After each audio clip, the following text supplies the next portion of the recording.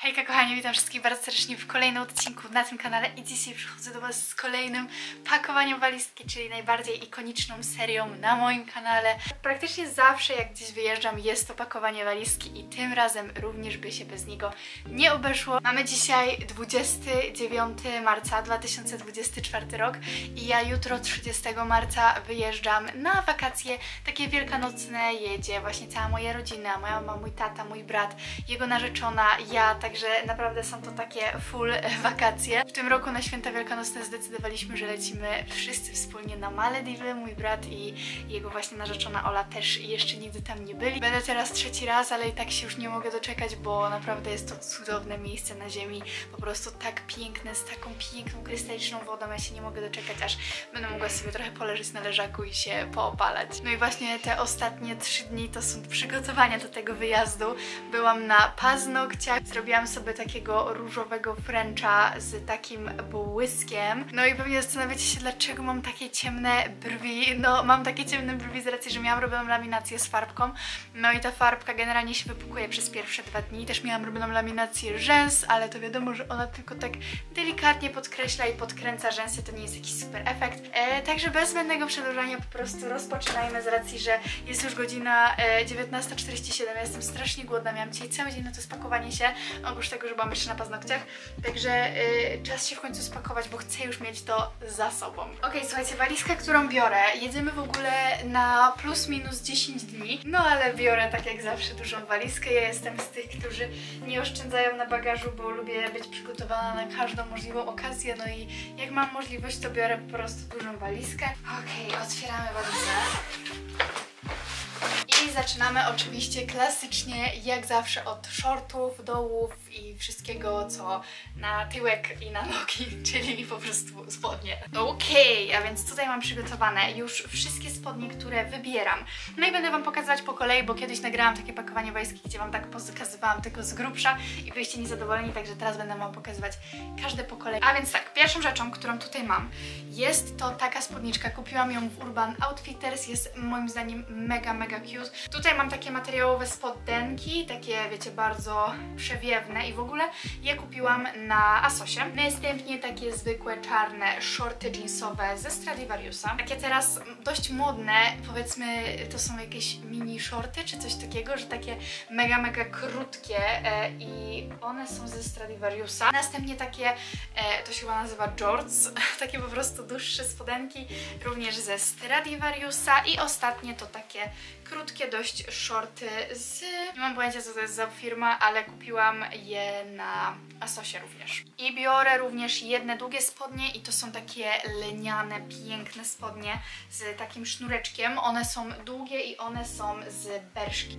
I to wszystko pakuję tutaj, czyli od strony kółek, bo tutaj zawsze najcięższe rzeczy dajemy, bo później jak walizka stoi na kółkach, to żeby jak wszystko zjeżdża, to żeby nie gniotły się te rzeczy, więc najcięższe zawsze dajemy przy kółkach. Teraz czas na topy, koszulki, góry. Pierwszy topik to jest taki, który kupiłam na Bali, on jest taki haftowany ręcznie, tam w ogóle mieli masę takich rzeczy po prostu za grosze. Następnie taki top, on jest z Stradivariusa, biorę taki czarny i biały, bo ja go kocham. On ma tak pięknie odkryte plecy. Następnie coś takiego, kupiłam go chyba również na Asosie. Następnie taki brązowy, tutaj przechodzący na krzyż na szyi. To, co również kupiłam w Urban, Urban Outfitters ostatnio, jak byłam w, e, w Warszawie, to jest to taki topik i też był strasznie drogi, ale jest naprawdę bardzo ładny, bardzo ładnie wygląda też właśnie na ciele. Taki przechodzący przez szyję, on jest z Asosa również. Następnie taki e, tube top, czyli po prostu taka obcisła koszulka, ona jest chyba ze Stradivariusa, z tego co pamiętam. Właśnie ten sam, co pokazywałam Wam na początku, czyli taki z odkrytymi plecami, tylko tym razem w białej wersji kolorystycznej. Tutaj z takim odkrytym ramieniem. Taki zwykły topik, on jest z... to jest chyba New Yorker? W ogóle rozmiar XXS, ale on jest tak rozciągliwy, że... Takie piękne body, również bardzo ładnie wygląda na ciele i myślę, że super będzie wyglądać, jak będzie opalenizna i właśnie do tego te leniane, długie spodnie, no mega. On jest z Zary. I taki zwykły topik z również Zary. Ok, te wszystkie topy układam tu. Następnie mam takie rzeczy do zarzucenia na ramiona, jakbym się spiekła i chciała unikać słońca albo na chłodniejsze wieczory lub po prostu na plażę. Mam taki oto haftowany, jakby coś w tym stylu, e, taki do wiązania sobie. Taki sam krój, tylko że czarny. Tamten jest z Stradivariusa, a ten jest z H&M-u. Tutaj takie na ramiona, takie coś, nawet nie wiem jak to się nazywa, z berszki. I ostatnie takie tiulowe z długimi, rozszerzanymi tutaj na końcu rękawkami. Ja się śmieję, że to jest taka wróżkowa bluzka, bo ja się w niej czuję jak, dosłownie jak wróżka. I ona jest z H&M-u. Teraz czas na sukienki i tutaj mam takie sukienki plażowe, które wiecie, raczej założę tylko i wyłącznie na strój, bo na przykład są bardzo krótkie albo bardzo prześwitujące, ale są tutaj też takie sukienki, które po prostu są bardziej eleganckie z racji, że tam na kolację właśnie ludzie się ubierają tak bardziej elegancko, jak sobie gdzieś właśnie wychodzą, bo są różne restauracje, tam można sobie robić rezerwacje i w ogóle, więc, więc wzięłam sobie kilka opcji właśnie na takie kolacje. Ale pierwsza to jest taka bardziej właśnie plażowa sukienka. Ona jest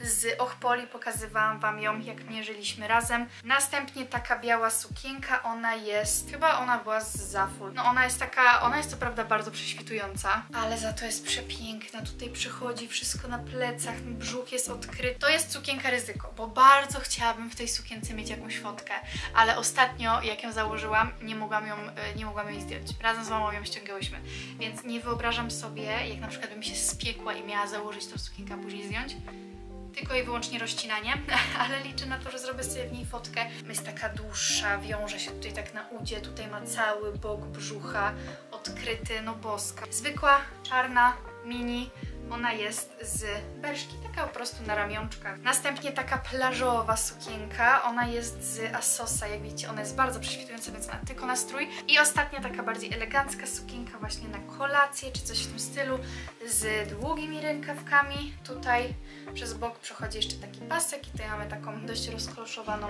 krótką spódniczkę. No i to jest również sukienka z Ochpoli, którą pokazywałam Wam ją na mierzeniu, także jeżeli chcecie zobaczyć jak wygląda na mnie, to zapraszam na test właśnie sukienek z Ochpoli.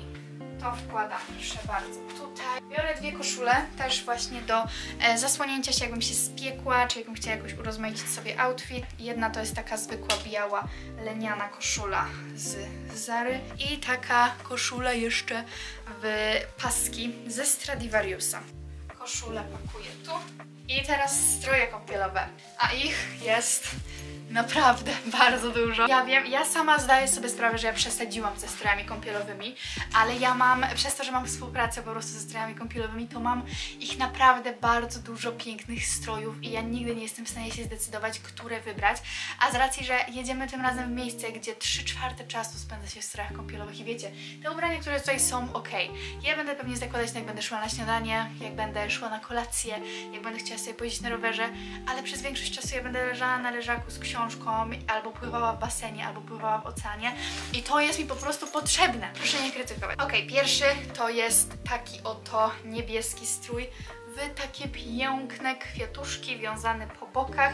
Większość z tych strojów ja Wam pokazywałam e, na testach strojów kąpielowych i on jest z Holistera, taka fioletowa góra, e, taki fioletowy dół znaczy się i taka fioletowa góra, bardzo ładny. Nie wiem, czy ten strój jeszcze jest na mnie dobry, bo kupiłam go jak byłam za pierwszym razem na Hawajach i pamiętam, że wtedy dość mi cisnęło, a, a ostatnio mi przez tabletki urosły trochę cycki, więc mam nadzieję, że jest dobry. Nie mierzyłam tych strojów. Różowy, taki o, proszę bardzo i nie mogłam się zdecydować, który różowy wziąć, więc wzięłam dwa różowe.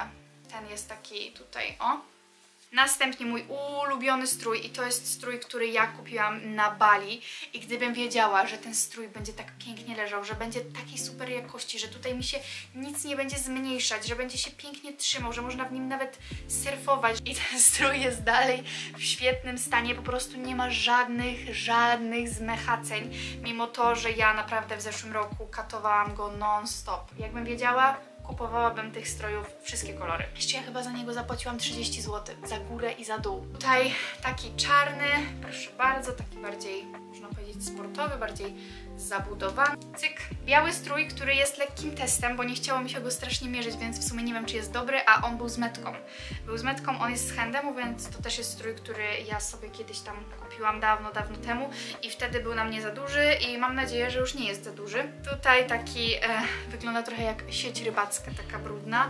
Tutaj ma takie muszelki, tutaj jest góra, brązowy I tutaj mam jeszcze strój do surfowania. Dobra, także tyle strojów kąpielowych i to pakuję w zasadzie pod te koszule, zmiażdżone całkowicie. Cyk. Następnie stroje sportowe. Jakbym chciała tam pójść, zrobić sobie jakiś trening na siłkę, czy coś w tym stylu, to mam. Mam oto takie obcisłe shorty, ale ja w ogóle chyba wezmę sobie do, do plecaka też, bo jak przyjedziemy, to żeby móc się przebrać, bo pewnie będzie gorąco na miejscu, a my później jeszcze będziemy lecieć takim małym samolotem i żeby móc się od razu w coś przebrać, to chyba po prostu je spakuję sobie do plecaka, ale do tego biorę taki czarny sportowy top, granatowy sportowy top z pięknymi plecami i takie niebieskie spodenki. Czekajcie, bo Krystek zabiera lunkę oddajemy ją e, w ręce rodziny Oli, także idę się z nią pożegnać, bo nie będę ją wisieć przez 10 dni. Dobra, słuchajcie, chowam ten strój. Tutaj wydaje mi się, że go włożę. Tutaj mam jeszcze worek oczywiście z bielizną, więc jego skitram tutaj. E, I zaraz tutaj muszę dopakować jeszcze dres na drogę powrotną. W tą stronę będę miała na sobie oczywiście, ale muszę mieć też jakiś na powrotną, a mam jeszcze dużo miejsca. No i przejdziemy jeszcze do kosmetyczek. Jeszcze pokażę Wam buty, które zabieram, chociaż ich nie ma dużo. To zaraz, bo teraz jadę jeszcze do Rosmana z racji, że mój brat pojechał zawieźć Lunę, a Rosmana mamy do 21, więc muszę pojechać kupić mojemu tacie spray do włosów, mojemu bratu piankę do golenia, a nam wszystkim patyczki do także zaraz do Was wracam. Ok, kochani, zjadam sobie jeszcze pizzę i teraz czas pakować się dalej. Ej, W ogóle tutaj w tej walizce jakieś rzeczy są.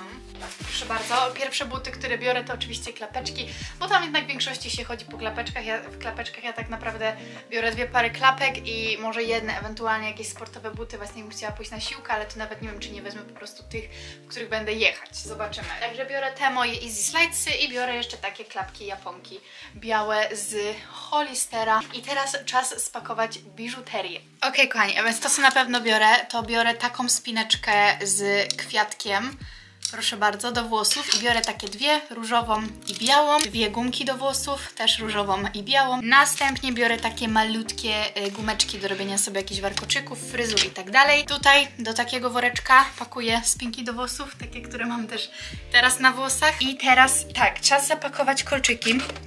I tutaj mam już takie pochowane. W ogóle jak nie widzieliście jeszcze mojej szuflady z organizacją biżuterii, jak robiliśmy sobie właśnie taki wspólny filmik, to zapraszam Was na kanał, bo wszystko sobie tutaj zmienialiśmy, ustawialiśmy i tak dalej. I teraz muszę wybrać kolczyki, które chcę ze sobą zabrać, także to mi chwilkę zajmie, więc zrobię to e, w samotności.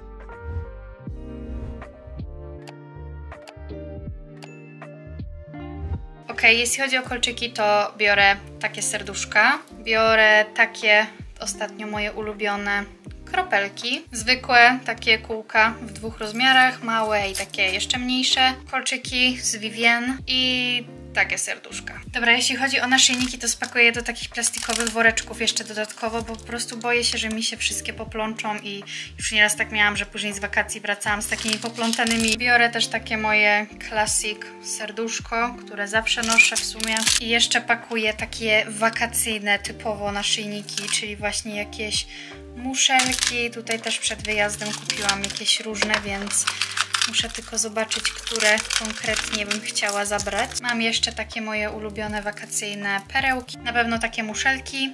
Tutaj taka. Biorę taką, zrobioną z plastiku z oceanu. Jeszcze taką na ratunek drzewom. I jeszcze takie koraliki. Takie kilka bransoletek. I to wszystko biorę do takiej kosmetyczki. Biorę jeszcze taką białą opaskę na włosy. I jeszcze pakuję takie białe kokardki na spinkach, że wezmę jedną różową i dwie takie białe. Jeszcze wezmę chustkę na głowę. I przy okazji, jak mam otwartą szafkę, to biorę też UNO, zwykłe karty. Tutaj pakuję całą biżuterię. Tutaj pakuję karty. Pakuję do walizki również lokówkę. Dobra, czyli muszę teraz przygotować całą elektronikę, jeszcze okulary przeciwsłoneczne, spakować plecak, także ja wszystko przygotuję i wrócę do Was, jak będę miała już wszystko popakowane i Wam pokażę. Ok, kochani, pakowania, ciąg dalszy. Tutaj spakowałam jeszcze okulary przeciwsłoneczne i biorę dwie pary plus trzecia, trzecią będę miała w plecaku, żeby już mieć na miejscu. Jedne to są takie panterkowe, a drugie, żeby do urozmaicania też właśnie sobie fotek to będą takie różowe. Następna rzecz to piżama oczywiście i biorę taką, taki zwykły topik. Ta piżama jest z pinka i tutaj mam do tego takie obcisłe, krótkie spodenki. Jeśli chodzi o torebki, to biorę takie dwie. Tą bardziej właśnie na przykład do sukienek, jak będziemy szli na kolację, żeby schować sobie tutaj na przykład tylko telefon i tyle, a tą po prostu na co dzień taka plażowa, żeby tutaj też sobie trzymać jakieś okulary, SPF-a, czytnik, telefon. Te torby schowam sobie o tutaj. Biorę jeszcze jedne buty. W jednych pojadę, pojadę w zielonych kampusach, a te sobie jeszcze biorę tak dodatkowo. Dam dres na powrotną drogę, no i tutaj mam czarny, czarne zwykłe spodnie dresowe i bluzę moją z Essentials, prostu sobie pakuję. No i tutaj jeszcze dojdą kosmetyczki. Przywilej podróżowania z rodzicami jest też taki, że e, nie muszę się martwić o pakowanie szamponów, odżywek i tak dalej, bo zawsze robi to moja mama, więc tutaj też fajnie, że po prostu mogę sobie e, zapakować do kosmetyczek tylko to, co jakby ja potrzebuję, a resztę, resztą po prostu zajmie się moja mama. Także tutaj mam kosmetyczkę pielęgnacyjną i powiem Wam, że w porównaniu do tego, jak kiedyś wyglądała kosmetyczka pielęgnacyjna, w której się znajdował jeden krem mm, i może, nie wiem, płyn do soczewek, to teraz tutaj jest naprawdę dużo. Teraz chodzę do dermatologa i mam całą swoją pielęgnację, ale zacznijmy od początku. Żel antybakteryjny pod pachy, pewnie zapytać się dlaczego używam męskiego. Podobno jest silniejszy. Krem nawilżający do twarzy z Avena, następnie Epiduo, czyli właśnie maść taka na wypryski, mój ulubiony krem Effeclar Ham, tutaj do odbudowania bariery hydrolipidowej, tutaj jeszcze SPF, drugi mam w plecaku, kropelki brązujące, no bo nie mogę kategorycznie opalać twarzy, zwłaszcza, że jestem na antybiotyku, e, więc przez to, żebym się nie odcinała, bo pewnie będzie różnica między moją twarzą a ciałem, no to mam kropelki brązujące. Krem pod oczy, kolejny krem na wypryski, olejek do włosów, płyn micelarny, kolejna maść od dermatologa, woda w sprayu. Pecata Pilu jest tutaj płyn do soczewek, soczewek jeszcze nie spakowałam. Tutaj mam odżywkę na sucho do włosów, maszynka do golenia, balsam, jeszcze mam e, temperówkę do kredek. Także tak to się wszystko prezentuje. No i teraz po prostu tak z grubsza Wam pokażę, jeśli chodzi o kosmetyczkę kolorową. Ja nie wiem, e, jaki ja tam będę miała mód. Jeżeli będę miała taki mód, żeby się malować, to jestem na to przygotowana. Jeżeli będę miała taki mód, żeby się nie malować, ewentualnie nałożyć sobie korektor w jakieś miejsce róż, to na to też jestem przygotowana. Po prostu wszystkie moje kosmetyki, które używam e, na co dzień, nie będę Wam tego pokazywać, bo to są kosmetyki, które Wy dobrze znacie, a jak nie, to zapraszam do filmiku z moim codziennym makijażem. Oprócz tego tutaj jeszcze taka e, kosmetyczka, w której są różne ładowarki, kabelki. Mam tutaj też na przykład przejściówkę, gdzie wkłada się kartę, to się podpina do telefonu i można sobie od razu zgrywać zdjęcia. Z racji, że oprócz mojej kamery, którą teraz nagrywam, żeby nagrywać dla Was vlogi, biorę też moją starą kamerę, czyli Canona e, G7X Mark II, bo on jest świetny do robienia foteczek takich ładnych z flashem i tak dalej. Odkryłam i mam poustawiane te w końcu ustawienia tak, żeby te zdjęcia były naprawdę ładne. E, nie wiem, wydaje mi się, że to już wszystko, jeśli chodzi o walizkę. Podręczny plecak, nie będę tutaj Wam wszystkiego wyciągać, ale pokażę tak mniej więcej oczywiście co biorę. Żel antybakteryjny, portfel, małe słuchawki, następnie e, tutaj mamy jeszcze oczywiście szczotkę do włosów, jakiegoś pojedynczego tampona, to zawsze coś takiego zostaje. Tutaj mam jeszcze e, wagę, w ogóle to jest waga mojego kolegi Oliwiera, z którym byłam na, e, na Bali i po prostu zgarnęłam mu i zapomniałam mu oddać, także korzystam póki mam. Tutaj mam również dwie przejściówki, ja akurat e, w sumie nie wiem jakie, jakie nie pamiętam jakie są kontakty na Malediwach. Te przejściówki po prostu są zawsze u mnie tutaj z boku, także już je zostawiam. Tutaj właśnie mam powerbanka, mam te shorty na zmianę, mam oczywiście czytnik, tutaj właśnie mam też te okulary, o których Wam e, wspominałam, że pakuję je do plecaka, kosmetyczkę pierwszej pomocy, po prostu lotniskową, w której są jakieś potrzebne rzeczy, żeby się odświeżyć albo coś w tym stylu. Mam też gumę do rzucia i tutaj również trafi mój laptop, ładowarka do laptopa, duże słuchawki. I w takim razie zapinam, resztę rzeczy dołożę jutro, bo wyjeżdżamy dopiero o 13. Także myślę, że spakowałam wszystko. Jak sobie jeszcze o czymś przypomnę, to dopakuję, ale wydaje mi się, że jest to już, już wszystko tak naprawdę. Jeszcze spakuję oczywiście statyw, na którym teraz stoi lampa, czyli taki Czekajcie, bo tutaj się nie mieści. Czyli tutaj taki kieszonkowy statyw. Zabiorę też właśnie tą lampę, którą teraz się oświetlam, żeby móc dla Was może nagrywać jakieś Get Ready With Me, czyli jakieś po prostu, żeby się oświetlać do filmików, zobaczymy. Także słuchajcie, dziękuję Wam bardzo serdecznie za oglądanie już kolejnego pakowania walizki ze mną. Dziękuję, że byliście. Mam nadzieję, że jak zwykle spędziliście miło ten czas, albo że mogłam się jakoś przydać, bo też wyjeżdżacie na jakieś wakacje. Widzimy się już niedługo w kolejnych odcinkach. Do zobaczenia i papa! Pa.